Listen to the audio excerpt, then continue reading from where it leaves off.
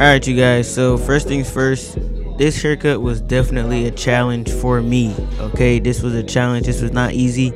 I need to brush up on my, you know, um, my shear work skills. Okay, so I will be doing that soon. I know I've been saying it, I've gotten a lot better. Like, if you guys have seen my process of doing shear work or, or watch me for a long time, you'll see I've gotten a lot better. So, what my client wanted was a burst fade on the side kind of a messy top into like a, a short mullet. So usually a regular mullet would go like kind of down the neck kind of. Um, so he wanted it messy on the front. He wanted it out of his eyebrows. Like he he wanted the hair to stop just above his eyebrows. And then he wants a lot of the weight off the back. So what I'm gonna do is I'm gonna try my hardest to get this client what he wanted. And this client was very satisfied. He, he told me he liked it when he was there and then when he got home, he texted me again and was like, "Bro, this is exactly what it what I wanted. I appreciate it." Um, he had a complaint that people usually would cut way too much off when doing his haircut, so he didn't get a cut for a long time. Um, but yeah, so basically, I gave the client exactly what he wanted, but me being me, I'm very hard on myself when it comes to cutting hair. I feel like everything has to be perfect, everything has to be good especially because I make content as well. So it's just something that I deal with personally. Um, but knowing what I know now about shear work, just watching this, it just it gets on my nerves. so it's like it's like my process of shear work on this haircut would have been way different. Like, cause I feel like I learn as I go. Um, but not now I know that this is not right. Okay, this is this is not how I would do shear work. Um, so right now, what I'm basically trying to do in the video is just make the top blend into the sides because he doesn't really want bulk like that on the sides above this burst fade. So what we're going to do is try our hardest to use this shear work to take some of that bulk off the side and then we're going to work our way to the back and take off a bunch of length um, off the back of his head because that is something that he did want after we do that we're going to jump into the fade part of the haircut. And that is one of my specialties so that part was not hard. It's just the shear work which we will get better at. I promise you that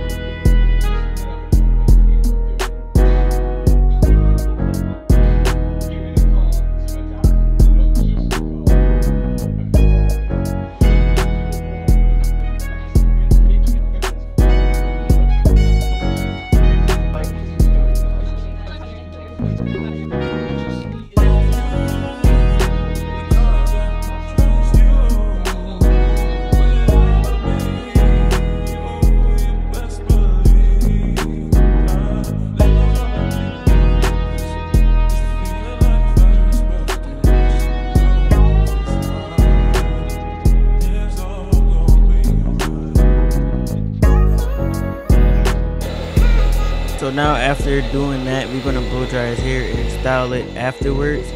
So he, like I said before, he's going for a messy look. So before I go and style it at the end of the cut, I'm gonna try to do this burst fade blend and get it to blend as much as possible. Um, but we're not fully blow drying it because I want it to be a little bit damp just so when we put the product in, the product will apply better and last longer. So right here I did um, the first guideline, but I forgot to record it. I thought it was recording, and I looked back and it wasn't. So you see me just tracing over it right now just to show you guys what I did. But I'm doing my first guideline the same exact shape that I set the ball guideline. After that, I'm gonna move up to the next guard, which is the one guard open, and repeat the same steps. After that, I'm gonna use my two guard, and then I'm gonna try to blend it in as much as I can with the clipper over comb and uh, thinning shear over comb. And then after that, we're gonna blend our way back down after trying to keep this whole shape that we're trying to do. Excuse me, guys. It's, it's, it's still cold in Buffalo, bruh. I don't mean to be just just coughing in y'all ear. You know what I'm saying? I, I, I would just clear my throat. But um, and yeah, I just bought a new mic, so let me know what you guys think about the mic and how it sounds. But yeah, so we're gonna try our best to get this blend as good as possible. One thing I like to tell beginner barbers, I always say to find something you're good at, master it, and then move on to the next thing. So I feel like for the most part, I've mastered blending and crispy lineups. Like I feel like I got really good with crispy lineups, really good with fades. It's just now I need to work on my styling and my shear work. So once I get really good with that, I think I'll be, you know, one of the one of the top tier barbers I could say. A lot of you guys might be like, "Hey, you're already nice. What you talking about?" I'm like, "Bruh, I'm nice compared to, you know, like average barbers, I would say, but like compared to the people that I know and hang out with, like these guys are way in a different league than me. You know what I'm saying? You hear that saying a lot when people be like, hang around people you want to be like, or hang around people that's gonna that's doing better in life than you, or hang around people you know that's that's where you want to be in life, and that's basically what I've been on lately. You know what I'm saying? By putting out this content and being a good person and you know just just just capitalizing on the people that you know and the relationships that I built.